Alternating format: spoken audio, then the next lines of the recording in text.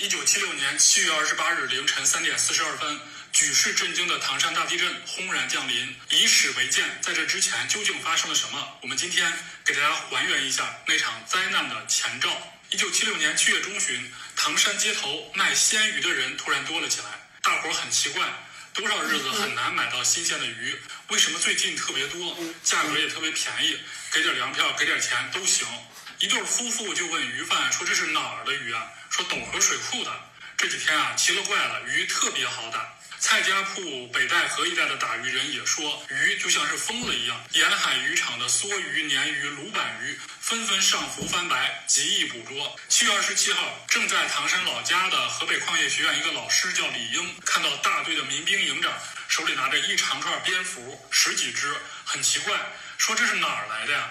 民兵营长说：“怪了哈，大白天的蝙蝠满院子飞。”也是在这一天，唐山滦南县城公社的居民看到棉花地里成群结队的老鼠在乱跑，大老鼠带着小老鼠，小老鼠互相咬着尾巴，连成一串。有人感到很好奇，上前追打，啊，别人还劝呢，说别打了，估计是要发大水了，耗子怕灌了洞。这些敏感的动物都比人类更早地迈开了逃难的第一步，人们却没有意识到这是大自然的警告。不知不觉，时间到了七月二十七号深夜。这天晚上，滦南县东八户大队的张宝辉听见猫不停地叫，他以为猫饿了，起来喂食儿。结果呢，猫一口不吃，依然叫声不绝，乱跑乱窜。那一天，唐山周围方圆几百里的地区，人们听到了长时间的猫叫、狗叫。七月二十七日的夜晚显得无比喧嚣。七月二十八号的凌晨，就在这样不安的氛围当中来临了。时间越来越近，凌晨一点半，滦县安各庄。几个社员惊叫着从一个水池，当然有预兆了。唐山大地震那个头一天，我们那会儿住在北京市东城区安定门外青年湖东一巷十七号。那会儿我住在我奶奶、我爷爷的院子里。那个头一天，因为我会剪纸，我是左撇子，那个我们那个青年湖公园那个湖就翻坑了，啊，那个湖就翻坑了，就是那个鱼都往岸上蹦。啊，然后因为我是左撇子，而且我会剪纸，我剪的坦克呀、飞机、大炮啊，有很多人喜欢，什么德国兵、日本兵啊，给我们那儿盖楼的是当兵的基建工程兵，好像是一个天津人还是哪儿的，就是一个小当兵的，还拿了一条大鲤鱼来跟我换我的剪纸作品啊。他说我给你一条鱼啊，你给我一个剪纸。我说好，哎，那就是地震的前一天啊。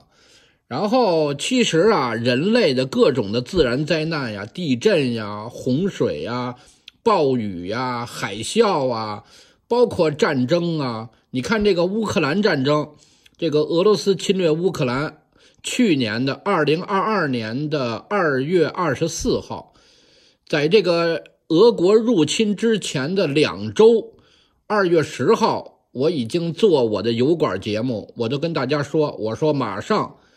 俄国人要进攻了啊，并不是我多聪明，而是美国的情报机构说了，马上俄国要大举入侵了。我相信美国人的情报能力，于是我在我的油管上我说，在乌克兰的华人赶紧逃命，是吧？当然有没有人听我就不知道了。我也属于啊，是吧？自谦一点就是人微言轻，但是我知道要打仗了，对吧？就是各种灾难。啊，包括二零零三年的北京非典，对吧？包括这个二零一九年底、二零二二年初的 COVID-19 的世界大瘟疫，是吧？这个都是有预兆的啊，都是有前兆的，就是有人在作死，有人在祸害全人类。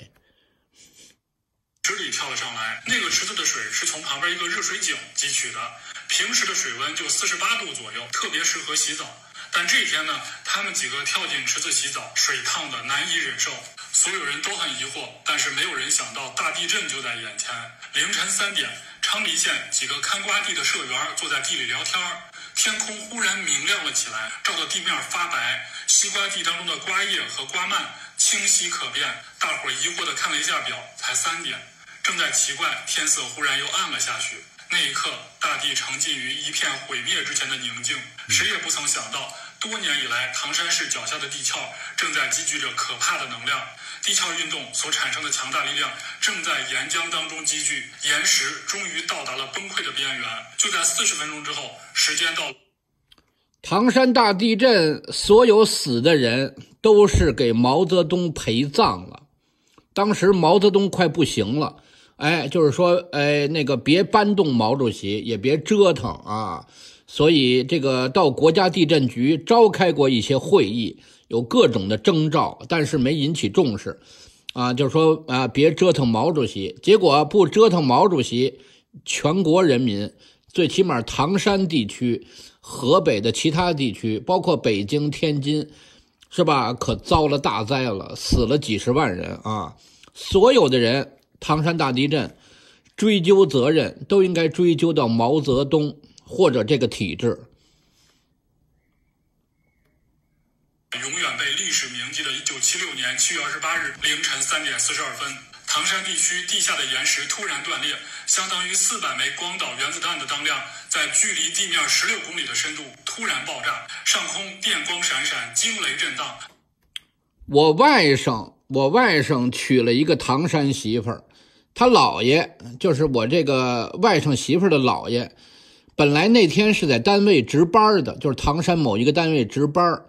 他们家呢，这个姥爷呢没生儿子，生了四五个姑娘吧。所以他们家那个在地震的前两三天，大概那个家里边遭贼了，进去贼了。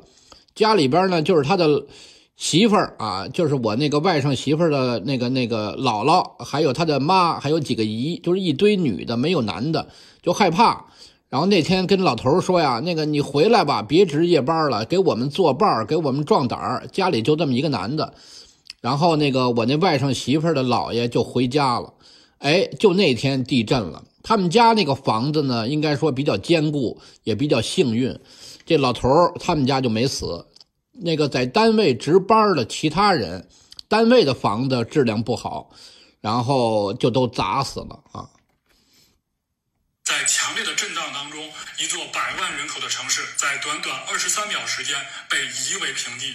不仅是唐山，此刻整个华北大地都在剧烈的震颤，大半个中国都感受到了它。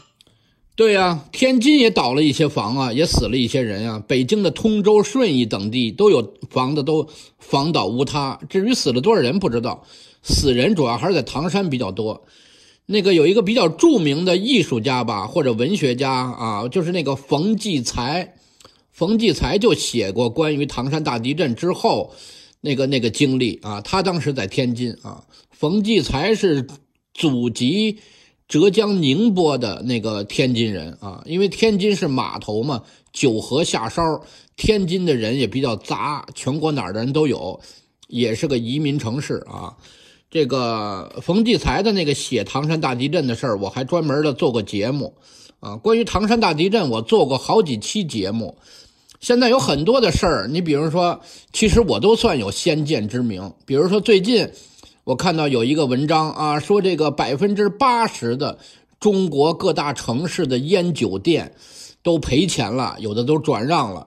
这个我早就知道啊，我不但是知道，我就是这里边的人呀，我就是亲历者呀，甚至是吧？因为我就做粮油批发呀。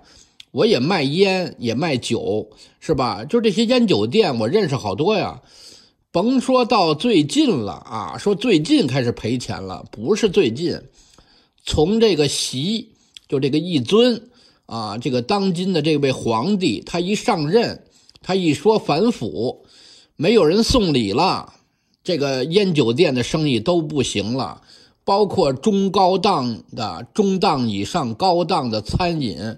包括旅游、旅行社、宾馆、饭店啊，包括礼品店，哎，包括甚至你们家有个果园子，原来给一些机关单位，后来单位都不敢发东西了，对吧？过去是官员捞一点儿，江泽民时代啊，胡锦涛时代，官员归捞归捞，老百姓也能活，现在老百姓都活不了了，对吧？就是说杀鸡取卵，你把这口锅。啊，吃饭的锅整个给砸了，是吧？这口锅呢，原来里边有饭吃，当官的是吧？捞点肉吃，老百姓捞点汤，现在是都没有饭吃了。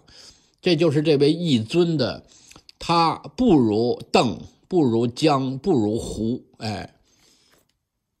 力量强大的地震波，甚至传遍了全世界的地震台。虽然此刻大家还没有得到关于地震强度和震中位置的确切信息，可所有的地震学家都感受到了一场巨大的。